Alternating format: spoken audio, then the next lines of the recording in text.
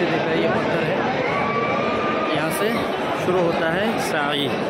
अल्लाह ताला ने फरमाया इन सफ़ा वलमरवा मिन शाइबिल्ला फमन हज अलबैत अव अतम फला जुनाह अलैहि, अन यतवफ बिहिमा, वमन ततव्वा खैरन फइन अल्लाह और सफ़ा से ही साई शुरू करना है, रसूलुल्लाह सल्लल्लाहु अलैहि वसल्लम ने फरमाया। इब्दा बीमा बद अल्लाह। यानी अल्लाह ताला ने जिस तरह शुरू किया वैसे तुम भी शुरू करो। जैसे कि इन सफ़ा, यानी सफ़ा इब्तदा में है तो इब्तदा सफ़ा से ही करना है। ये आखिरी सही है।